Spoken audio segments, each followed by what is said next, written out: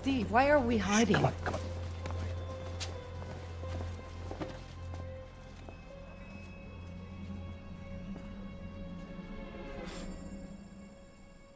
Captain Trevor.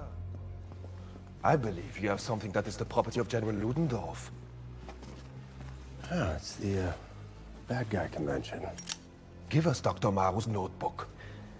Where'd I put that thing? Stand back.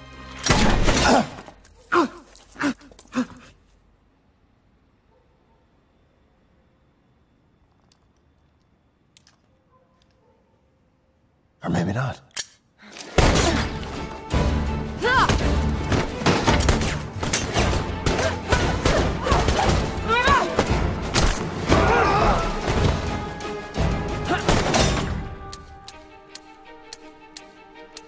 Tough luck.